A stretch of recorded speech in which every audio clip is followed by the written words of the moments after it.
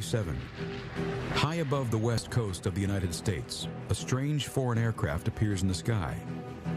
For the first time, American airspace has been penetrated by an airplane flying non-stop from communist Russia. This is the story of how Soviet designers of the World War II era worked in secret to create amazing planes that were ahead of the rest of the world.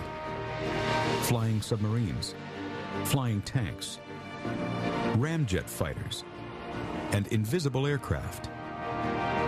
And how they worked as slaves in prison camps, facing daily torture at the hands of the psychotic mass murderer who ruled Soviet Russia, Joseph Stalin. Under the threat of death, and in spite of overwhelming fear, Soviet designers beat the odds, turning out ingenious revolutionary planes that would change aviation history.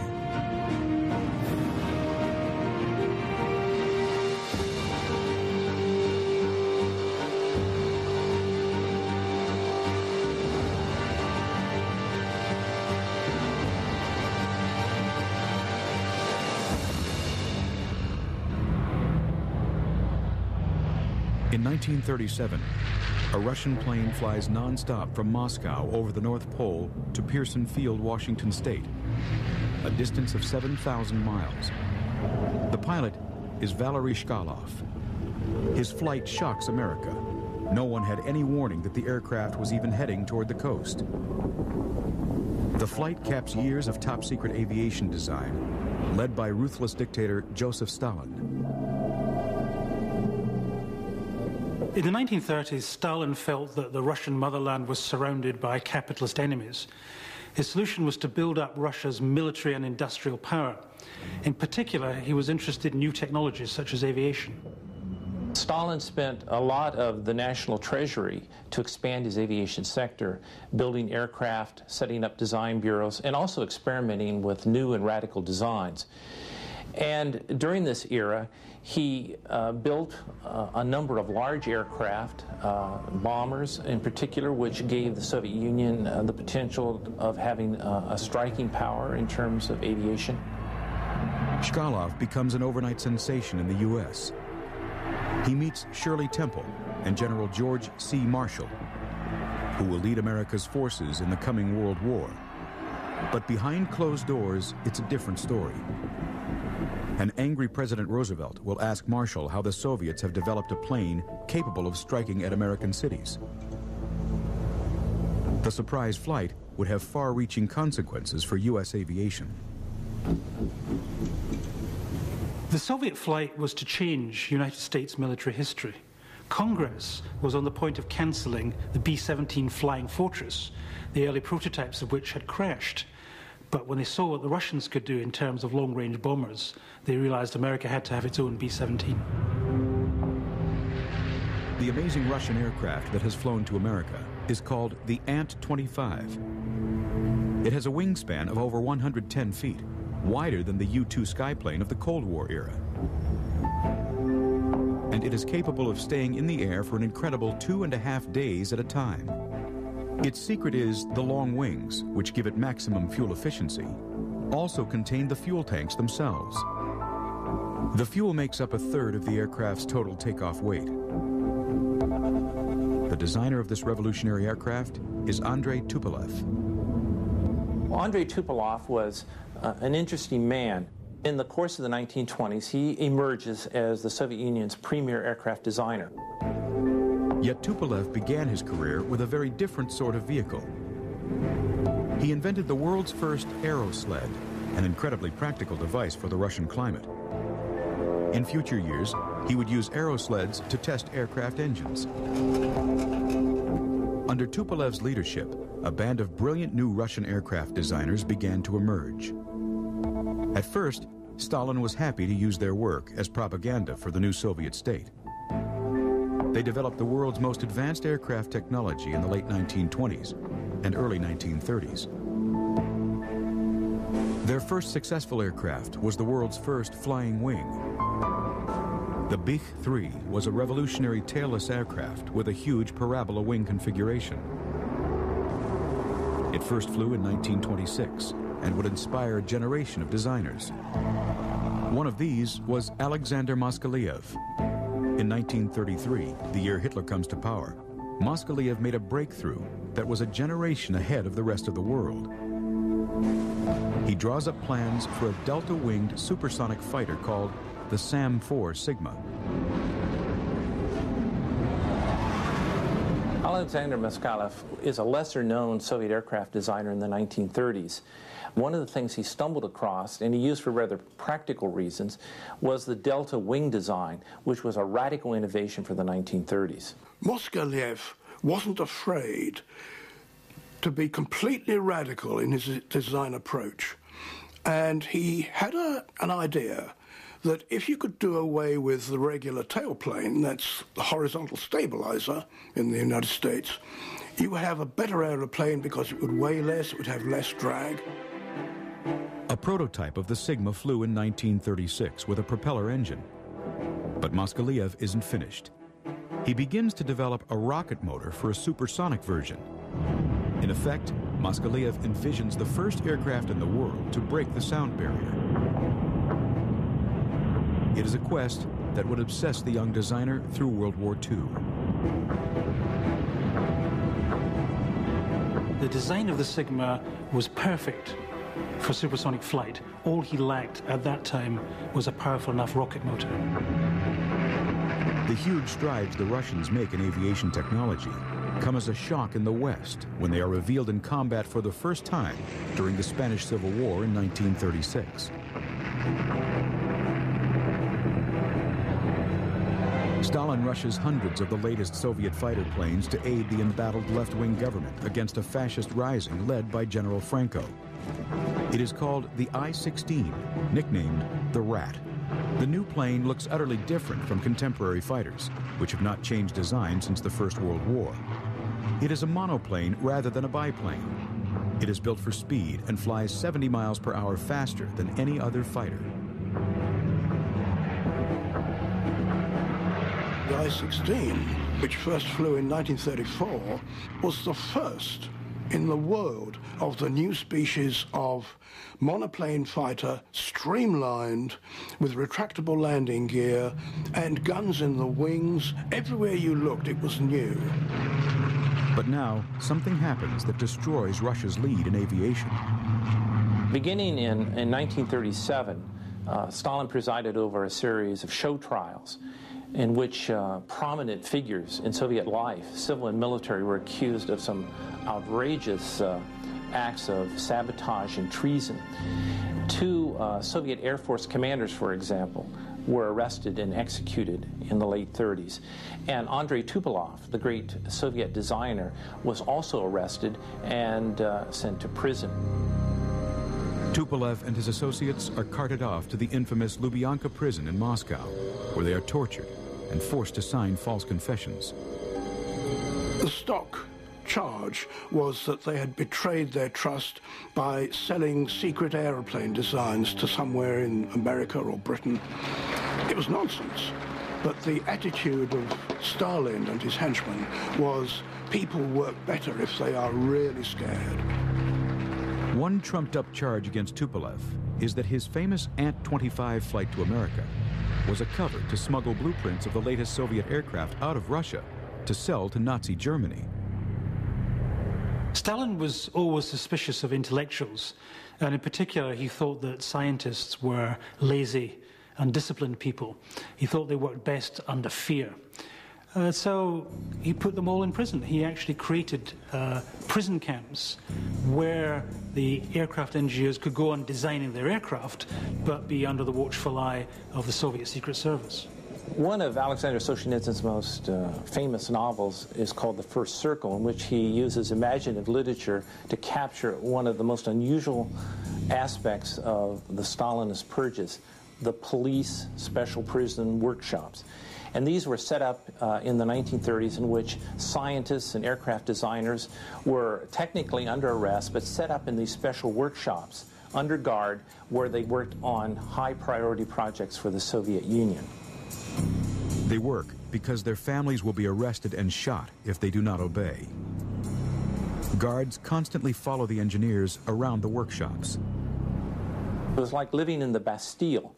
Uh, you had good food. You even had waitresses. You had cigarettes. You had certain amenities. You slept in uh, clean beds. But you never knew when, if ever, you would get out. You just didn't know what ultimately your fate would be. Yet neither Stalin nor his designers had any inkling how crucially their work would affect their country and world history. On June 22, 1941, over 3 million German troops and 3,300 tanks smashed through the Russian border. This is Operation Barbarossa, Adolf Hitler's attempt to annihilate communist Russia.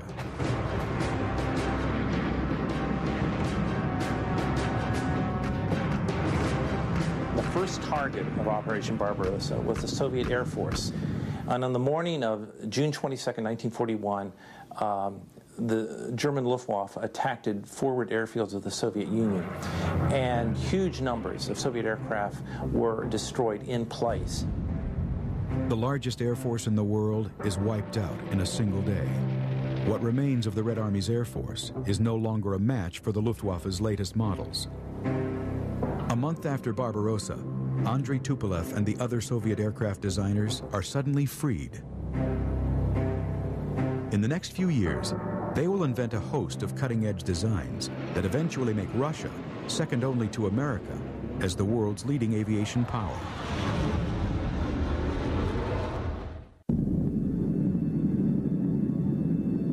In the summer of 1941, the Nazi Luftwaffe owns the skies above Soviet Russia.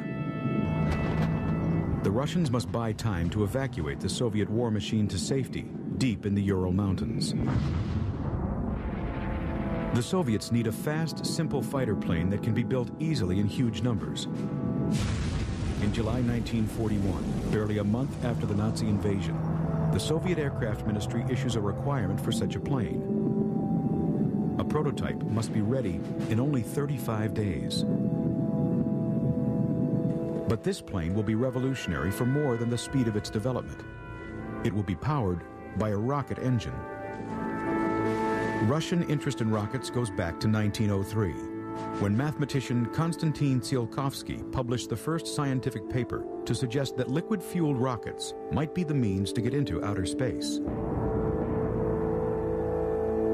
But following the Communist Revolution in 1917, all public news of Soviet rocket experiments was censored.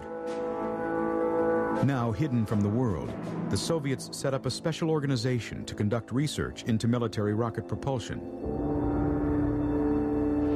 It was called the RNII, short for the Russian words for Rocket Scientific Research Institute. This institute was set up in 1933 and reflected in many ways the uh, long and abiding interest uh, Russians had in space travel and in rocketry. And it would draw a number of uh, important figures, not the least of which was Sergei Korolev, who would later head up the Soviet space program. In the 1930s, Korolev was the RNII's leading engineer, working on gyro-stabilized rockets, air-to-air -air missiles, and even rocket-powered aircraft. The Nazis had repeated failures with their own rockets. As a result, German military intelligence dismissed reports of Soviet success with rocket flight as pure fantasy. Unknown to the rest of the world, until after World War II, the Soviet Union was the world leader in rocketry and certainly in aspirations for spaceflight. And Sergei Korolev was one of the leading lights in rocket engines. Sergei Korolev uh, is an interesting figure, uh, Ukrainian by background, went to the Kiev Polytechnical School, uh, and then uh, came to Moscow in the 1930s, became interested in aviation, uh, tinkering around with gliders and aviation designs. But his real passion was rocketry, and he was very much interested in um, developing rocket-powered aircraft. In 1936, Korolev began work on the RP-218, a rocket-powered research aircraft designed to fly to the edge of space. The crew would be encased in a specially sealed and pressurized cockpit, and the plane would be launched from the underside of a bomber. It was an idea that wouldn't hit America for another 20 years. Early versions of the X-15 copied the mission profile planned for Korolev's RP-218, reaching an altitude of nearly 40 miles high. But before Korolev could get his plane off the ground, the curse of Stalin's paranoia strikes again. The designer is arrested on false treason charges. He is sent to the goldfields of Kolyma in the far northwest of Siberia. Known as the land of white death, Kolyma is the coldest place on Earth, with temperatures plummeting to nearly 100 degrees below zero. Korolev was rescued by the intervention of Andrei Tupolev. Tupolev was still back in prison in Moscow, but he saw it as his task to rescue all of the young Soviet aircraft designers who had been scattered through the Gulag and bring them back to Moscow where they could work under reasonably benign conditions, though still in prison. Others are not so lucky. Many of the key research workers at the RNII Rocket Research Institute are executed. With their deaths, the visionary RP-218 is abandoned. But then in 1941, with the Nazi invasion, Russia turns back to rocket power. She needs a fast rocket-powered fighter aircraft to combat the marauding Luftwaffe. The trouble with a rocket is it gets through its fuel very quickly, so you're not going to stay up there very long. But it does open the way to unbeatable performance, which is just what you want if the enemy bombers are coming over at high altitude and you want to go and take off quickly, climb up and shoot some of them down. A lot of Russian designers took this idea on board. The new plane is called the BI. Its nickname is the Devil's Broomstick. The BI is powered by a rocket motor generating 2,500 pounds of thrust, more powerful than the first generation of jet engines. It is armed with two 20-millimeter cannons on the nose and reaches speeds of nearly 600 miles per hour. It is the fastest aircraft on Earth. Working round the clock, the design team has the first prototype ready by late 1941, only a few months after the Nazi invasion. The BI is being developed at a plant near Moscow, but the advancing German troops are headed toward the Soviet capital. Work on the BI is halted in a desperate bid to move the aircraft and its workforce to the safety of Sverdlovsk, 850 miles east of Moscow. The disruption means the first BI fighter is only ready to fly under rocket power on May 15, 1942. The test pilot is Grigory Bakhchivandzhi, a Soviet fighter ace.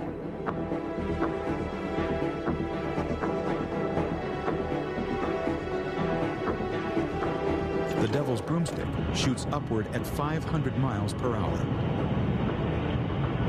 World's first rocket-propelled combat plane has flown. The B-1 rocket plane was uh, debuted in 1942. It was a rocket-powered um, aircraft, plywood construction. Uh, it was designed to be an interceptor, to intercept German bombers. And a number of these were built and flown. Stalin immediately orders the BI into production. Meanwhile, in Germany, work has also begun on a rocket-powered fighter, the Messerschmitt Me 163 Comet. But the operational version of the Comet will not fly till 1943, nearly 18 months after the Soviet rocket plane. But the new rocket technology proves difficult to perfect, while the years of delay in which Stalin butchered the cream of Russia's rocket engineers has not helped. One problem is that a rocket motor uses up fuel at a great rate. In a bid to solve this problem, designers mount ramjet engines to the wingtips of the BI. These can be used in ordinary flight, with the rocket motor switched on to climb to altitude, or in the attack mode. Then another problem emerges. On March 27, 1943, Grigory Bakhchivandzhi takes off on a routine test flight. It will be his last. By 1943, seven BI-1 prototypes had been built. They had flown extremely well at remarkable speeds, and not least was their ability to climb roughly twice as fast as any other fighter in the world. Unfortunately, later in 1943, uh, the test pilot, Bakhchivandzhi, was making a very fast low-level pass. It went into a dive at something like 500 miles an hour, and it set up a longitudinal oscillation, climbing and diving. The pilot had no chance whatsoever. The Russians had stumbled into one of the major problems of supersonic or near supersonic flight. As an aircraft approaches the sound barrier, a wall of heavy air builds up in front of the wing, and that can cause control problems and force the aircraft into a dive. Unable to solve the problems, work on the BI is stopped. The 50 BI fighters under construction are scrapped. The Devil's Broomstick is consigned to history's dustbin. But Soviet engineers remain fascinated with rocket power. Rocket boosters are fitted to most standard Red Air Force fighters to add speed. And in 1943, Russia's top rocket expert, Sergei Korolev, develops a new liquid-fueled rocket motor. It is tested on a special version of the PE-2 bomber. These breakthroughs in rocket technology enable Alexander Moskalev to resume his quest for a supersonic delta-winged fighter. Russian designers were given a pretty free hand sometimes.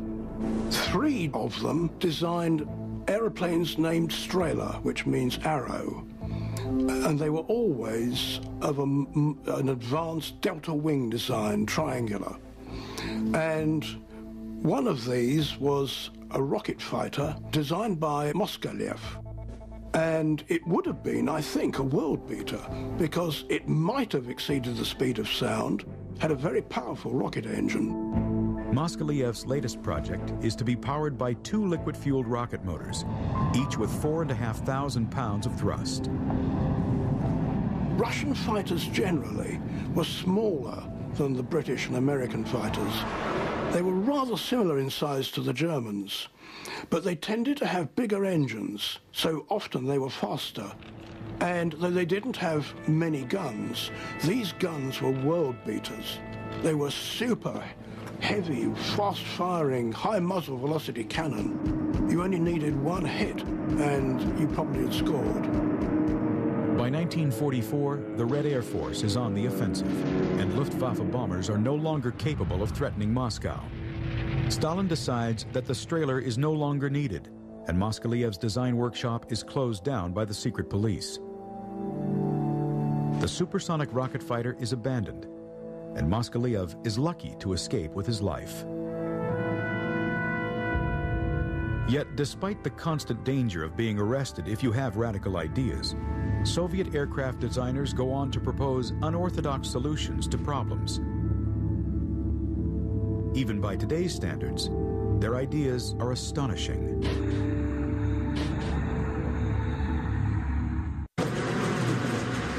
On the eve of World War II, Russian collective farm workers turn their eyes skyward. They think they can hear the sound of an approaching aircraft, but they can see nothing. Flying overhead is the world's first attempt at a stealthy aircraft. Well, the Soviet aircraft designers are always interested in imaginative, forward-looking, futuristic types of airplanes. In fact, in the 1930s, curiously, they even had some experiments on building an invisible airplane. These are the days before radar. But the aircraft of the day are still visible targets. They fly slow enough to be spotted easily through binoculars, and they fly too low to escape the deadly attention of anti-aircraft artillery. One Soviet designer has an answer. He strips the Soviet Air Force plane of its outer covering of wood and replaces it with clear plastic. It was a four-seat, single-engined, high-wing monoplane, a very ordinary aeroplane. He stripped out as much as he could of all the existing structure, and he covered it with a transparent fabric which he got from France called rhodoid, which was very much like cellophane. The aircraft is now largely transparent to the human eye. Of course, the engine and crew can still be seen. But at altitude, they're too small to pick out. There is only one problem. The problem was that the plastic he was using reacted to sunlight. And after a few weeks, uh, the transparency was lost and you could see the plane again. A true stealthy aircraft will have to wait another 50 years. Another problem Soviet aircraft engineers are grappling with is airborne warfare. The Red Army is the first to create a large parachute force, but paratroopers are lightly armed and defenseless against enemy tanks. There are early attempts to carry light tanks and artillery into battle, slung under heavy bombers. But the aircraft cannot transport heavy weapons. Another brilliant Soviet engineer has a radical solution to this problem. He is Oleg Antonov. Oleg Antonov emerged as one of the Soviet Union's most prominent aircraft designers in the 20th century. As a young man, he was interested in gliders. Later on, he presided over the design of a whole series of Soviet aircraft transports, heavy lift aircraft. His most, uh, perhaps his most unusual project was a so-called flying tank, where they uh, attached uh, wings to literally a tank and used it as a, a, a flying machine. This strange aircraft is called the KT, which stands for Tank's Wings in Russian. A T-60 tank provides the fuselage of the unit, with the tank's tracks being the landing gear. A biplane wing made of wood and fabric is attached, together with a pair of tail booms for stability. The unit is towed to its target by a heavy bomber. Towing speed is 100 miles per hour. Over the target, the flying tank is released and glides to a landing near the battlefield. The wings are dropped as soon as the tank lands. The tank can then move instantly into combat. Only one KT was ever built, and this was tested in early 1942. And the pilot was one of the most varied and experienced pilots there's ever been, Sergei Anokhin. And they waved away the tug, off went the, uh, the combination, and Anokhin broke the tow rope at about uh, 6,000 feet, and he managed to steer this contraption back to the airfield. And we are told he made a rather rough landing. Well, if the idea is if it's a landing you can walk away from, it's a landing.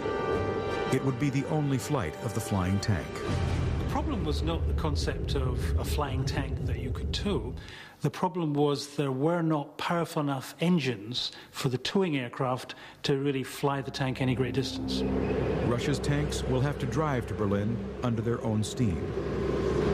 But along with flying tanks, Soviet thinking about the use of aircraft for naval warfare would lead to another idea that is truly breathtaking. Early submarines were very slow. They were also vulnerable to attack while traveling on the surface to recharge their electric batteries. On the other hand, aircraft could fly fast and high, but they did not have a submarine's invisibility when submerged. The junior naval officers uh, in the Soviet Union were very resourceful. And in the early 30s, they came up with the idea why not combine the strengths of a submarine with the strengths of an aircraft? In July 1936, the Soviet military's main scientific research committee approves a detailed design study for a flying submarine. It is known as the LPL, after the Russian letters for Flying Submarine Aircraft. For flight, the LPL is powered by three conventional piston engines. It carries a crew of three and flies at 150 miles per hour with a range of 500 miles. When the aircraft lands on water, Panels close to seal the flight engines. The aircraft is painted with corrosion-resistant materials, and it is armed with two 18-inch torpedoes carried under the fuselage. When submerged, the machine has a speed of three knots. The idea was that the flying submarine would be able to penetrate a heavily defended harbour by flying over the mines and the submarine nets, then submerge and attack the battleships and aircraft carriers that thought they were in safety inside the harbor. But the technical challenges prove too much for the Russians, and the flying sub is never completed. The idea of a flying submarine sounds far-fetched, but in fact, during the Cold War in the 1950s, the United States Navy commissioned its own design study for a flying submarine. The Convair Division of General Dynamics Corp in San Diego was asked to draw up plans for just such an aircraft this time powered by a jet engine. The craft would be submerged by flooding the wings, tail, and hull compartments. It would travel five miles an hour underwater, powered by batteries. The flying submarine has never got off the drawing board because it's just too complicated an engineering project. But there was one other new technology that did revolutionize aviation in World War II. The jet plane.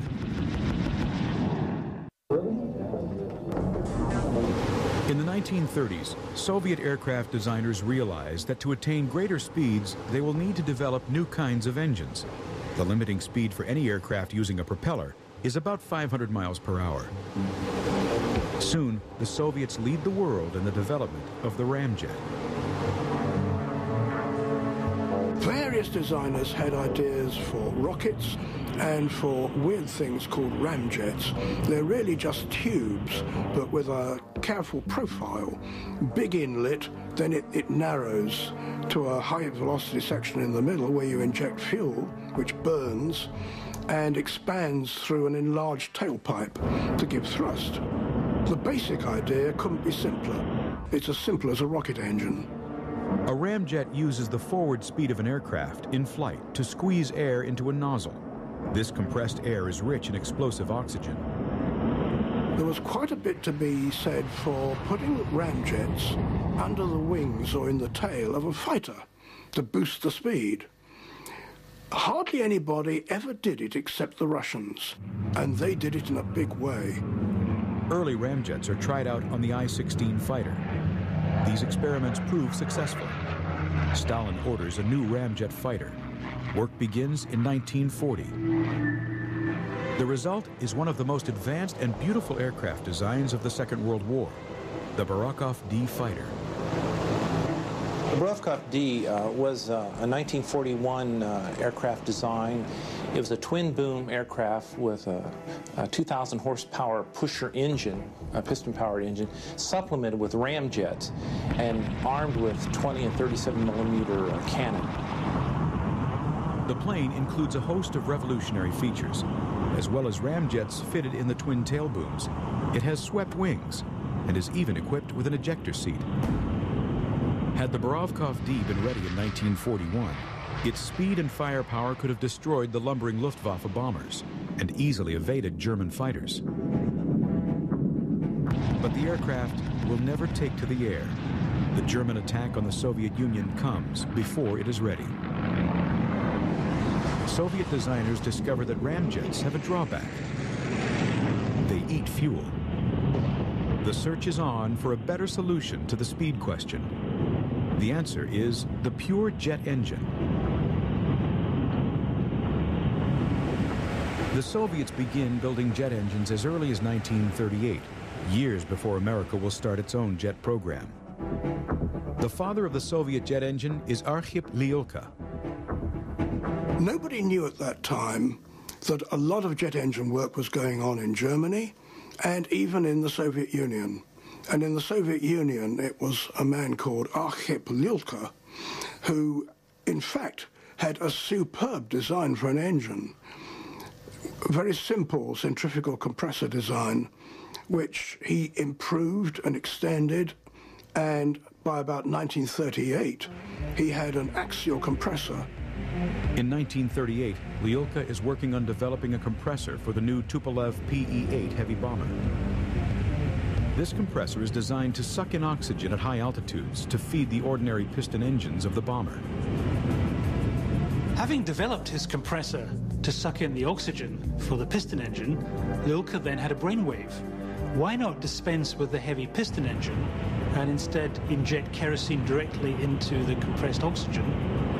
The result is a pure jet engine. Lyulka independently has invented the power plant that will transform the future of aviation.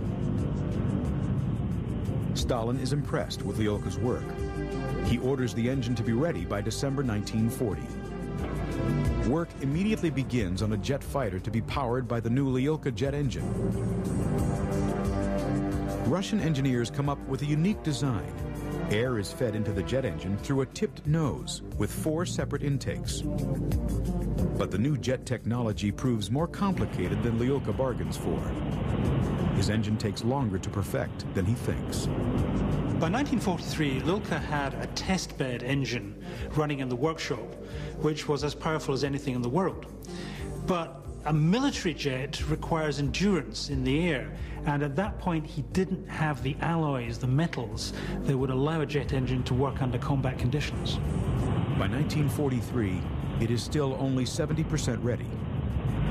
Brooding in the Kremlin, Stalin grows impatient.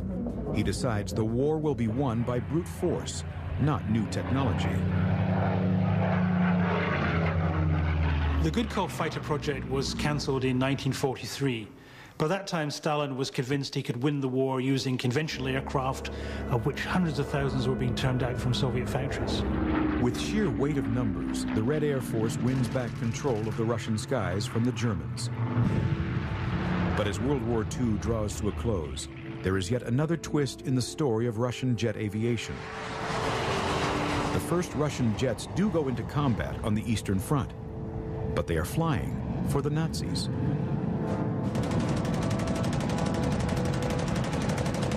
The first Russians to fly jets in combat were flying on the Nazi side. The Germans had recruited a free Russian air force from volunteer Russian pilots who wanted to free their country from Stalin. And they were equipped with the revolutionary new Messerschmitt Me-262 jet fighter. Apart from the Luftwaffe, the Free Russian Air Force is the only other air arm to fly the Me-262, the world's first operational combat jet. They fly in the old colors of Imperial Russia. But nothing can now save Adolf Hitler from his fate.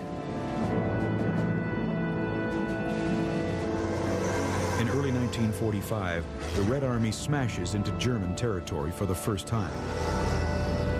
And Tupolev's heavy bombers pound Berlin. But Stalin harbors a secret that will lead to yet another purge of Russia's aircraft designers. Korea, 1950. U.S. jet fighters in action are World War II vintage Lockheed F-80 Shooting Stars. The Americans expect to clear the skies of communist planes. But they find themselves outclassed by a new Russian fighter that is faster and more nimble. The amazing MiG-15. Suddenly, there were glinting little silver things high over the Yalu River in Korea, and they were faster and agile. And this was the MiG-15. It had huge, powerful cannon. One hit from those, you were a goner. Rumors abound that the MiG is a copy of a Nazi jet design, the Focke-Wulf TA-183. The two planes look remarkably similar. Western experts simply didn't believe that Russian aircraft designers were good enough to design a jet fighter. So they automatically assumed that it must have come from the German designers captured by the Russians at the end of the war. But now the truth can be revealed. The MiG-15 was not a copy of the TA-183. Its designer, Hans Multhopp, had actually been captured by the British and brought secretly to England.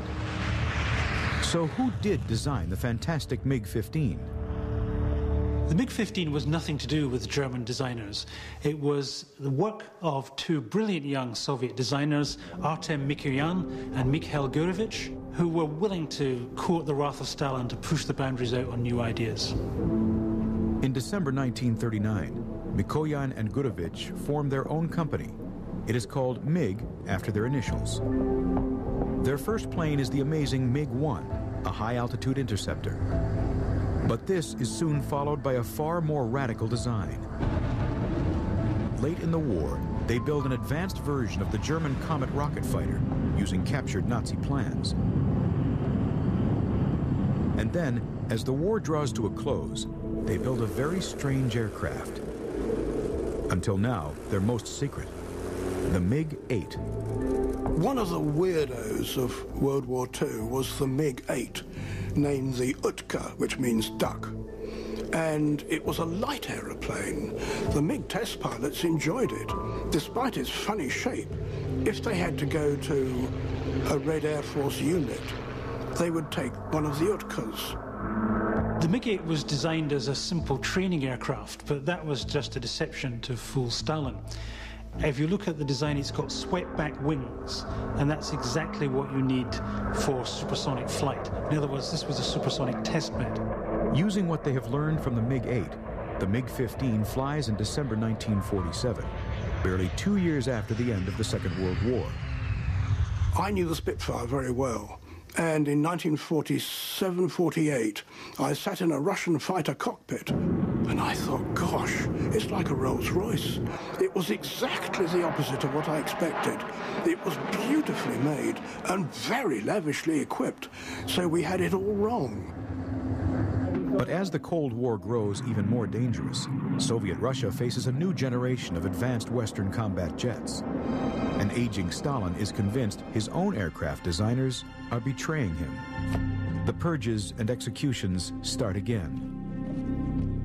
Once more, designers like Andrei Tupolev fear the midnight knock on the door from the secret police.